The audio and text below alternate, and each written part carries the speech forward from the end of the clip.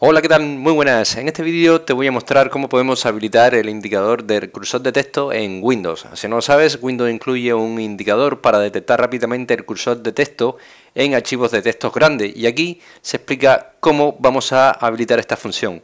Por lo tanto, supongamos que tenemos un documento de, Word ¿no? en el cual tenemos muchísimo texto y no encontramos el cursor. Pues si nosotros nos vamos a Inicio, Configuración, y luego nos vamos a accesibilidad y después en el panel de la derecha utilizamos cursor de texto, verás que tienes esta función que es una vista previa de cómo se vería el eh, indicador de cursor de texto.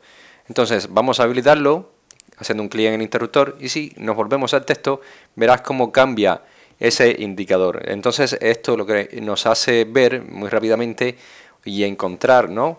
Por así decirlo, dónde es que está ese indicador y en qué párrafo se encuentra. Es decir, este mm, ratón ahora mismo, o el indicador del cursor, está ahora mismo entre dos eh, párrafos, ¿no? por así decirlo, pero a simple vista es más llamativo y nos hace ver rápidamente dónde se encuentra. Así que nada, espero que este vídeo te haya gustado, que te haya ayudado y así de sencillo es poder habilitar el indicador del cursor de texto en nuestro sistema operativo Windows 11. Aquí tienes diferentes valores en los que podemos ir jugando, ¿vale?